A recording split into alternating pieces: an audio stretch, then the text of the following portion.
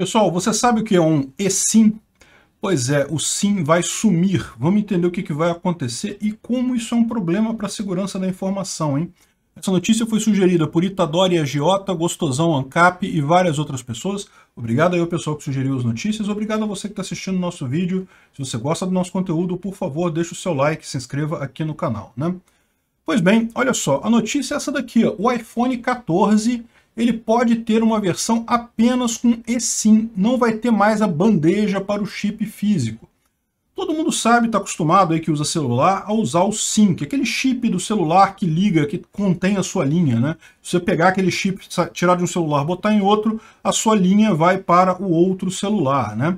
E uh, o que, que, acontece com isso? É uma tecnologia que está estabelecida, mas a verdade é que é bem incômodo esse troço. E a prova disso é que o, SIM tem diminuído de tamanho. Vocês lembram, né? O SIM padrão era um negócio que era quase um cartão de crédito aquilo ali. Aí depois foi diminuindo, tem o, o micro SIM, o, o nano SIM, cada, cada um menorzinho assim. E isso também gera uma outra dificuldade, que dependendo do aparelho é um tipo de SIM diferente que ele usa. Enfim, isso gera uma lambança e é uma dificuldade para as pessoas trocarem aquilo ali, botarem aquele, aquele... Eu sempre perco aquela chavinha de trocar o SIM. Enfim, as operadoras e os fabricantes de celular chegaram a um acordo para fazer uma coisa diferente chamada eSIM. Ao invés de você ter o SIM físico, que você troca de celular para celular, você passa a ter isso dentro do celular e simplesmente é atualizado por software. Então, se você quer contratar uma linha numa empresa, por exemplo, você vai lá no seu software, isso já existe nos iPhones mais novos, tá? Os iPhones, acho que a partir do 11, se não me engano, agora eu não sei com certeza, iPhone 11 pode ter um uh, eSIM e um nano SIM. Então, a partir do iPhone 11, você pode ir lá e pode contratar um plano da operadora direto, você não precisa ir nem na loja. Por quê? Porque no, o SIM ele já vem, ele já baixa via dados e instala no seu aparelho, você fica com duas linhas no iPhone, viu? O iPhone hoje em dia você não pode, ou pelo menos fisicamente, não tem como botar dois SIM nele, mas assim você tem duas linhas no mesmo aparelho. Olha que maravilha, né? Então, é, essa é a ideia do eSIM. Ao invés de você ter o chip físico, você usa o aparelho. Não são muitos aparelhos que têm isso ainda. Uh, o 13 e o, iPhone 13 também tem isso daqui.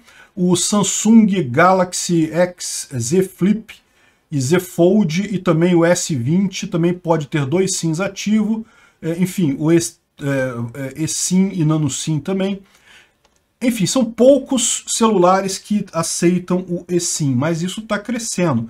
E você sabe como é que funciona isso. Né? No momento que a Apple resolve ir num caminho, a indústria toda segue. E olha só, o iPhone 14 vai ter versão só com eSIM, ou seja, não vai ter mais aquela bandejinha para você botar o seu chip físico.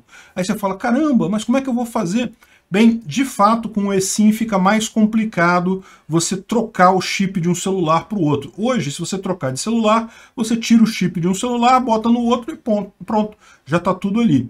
Com o eSIM a coisa é mais complicada, não no iPhone. O iPhone ele já tem uma função, quando você tem um iPhone novo que está pegando dados do iPhone velho, ele já puxa tudo do iPhone velho para o iPhone novo, inclusive o seu eSIM.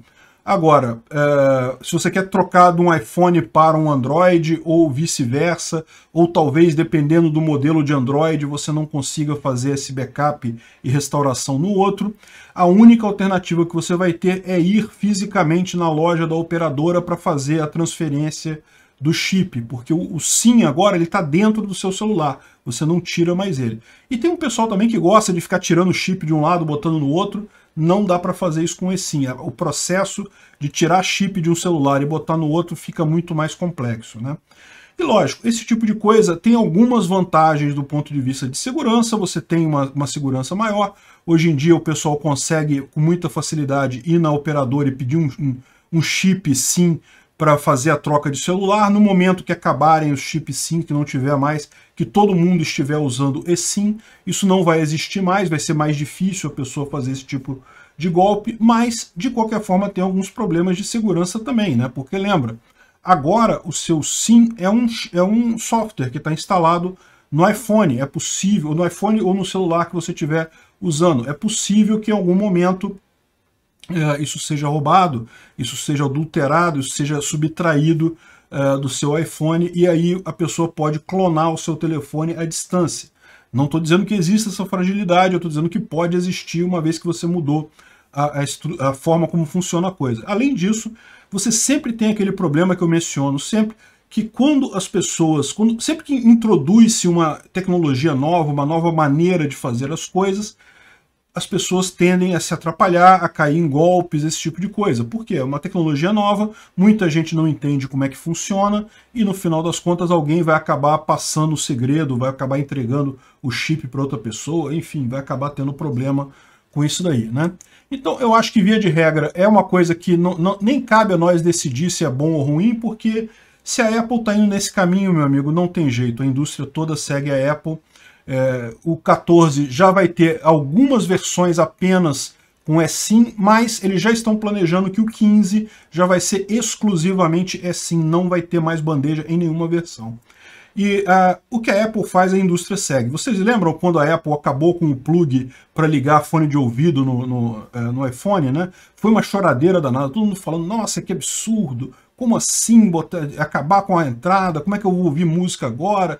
Ah, eu não gosto do, do fone via Bluetooth, coisa e tal. O que, que aconteceu desde então? Todo mundo foi nesse sentido. A maior parte dos modelos de celular mais, é, mais caros não tem entrada para é, fone de ouvido e tem o, o, o, fonezinho via Bluetooth, que realmente é muito bom de usar, aquilo muito melhor do que com, com cabinho, aqueles cabinhos realmente enrolavam em tudo, é um problema aquilo. Enfim, quando a, a, a, Apple tirou o celular da embalagem, o pessoal, nossa, que absurdo não botar o celular com a embalagem, com o, com o telefone, não sei o que lá, tem vender separadamente, não sei o que lá. Agora, vai, vai ver lá, a maior parte dos, dos celulares da Samsung também já vai sem o carregador, né? É, ou seja, no final das contas, é, é, o, o que a Apple faz, é onde vai a indústria. E ela está falando que você pode ir se despedindo do seu chip, acabou a brincadeira. Não, não vai ser tão rápido assim, vai levar uns anos ainda. Mas é, em breve não teremos mais chip com SIM normal, só com eSIM. É isso daí. Assim, faltou uma informação importante. E quais operadoras aqui no Brasil aceitam o eSIM? Todas elas. É só pedir, eles fazem isso. Já, já tem, do lado da operadora já está tudo pronto. Agora a questão é os celulares que vão começar a vir nesse caminho também. Se chegou até aqui e gostou do conteúdo, clique no like e se inscreva no canal. Isso me ajuda a ganhar relevância no YouTube e levar o tema da segurança no desenvolvimento de software a mais pessoas. Obrigado. Considere também clicar no sininho e pedir para ser notificado dos novos vídeos. Caso queira sugerir uma notícia para falarmos aqui, é só ir no nosso site https safesource.com, safesrc.com e clicar em sugerir uma pauta, colocar o link da notícia ali. Agradeço a todos que nos ajudam a fazer esse programa.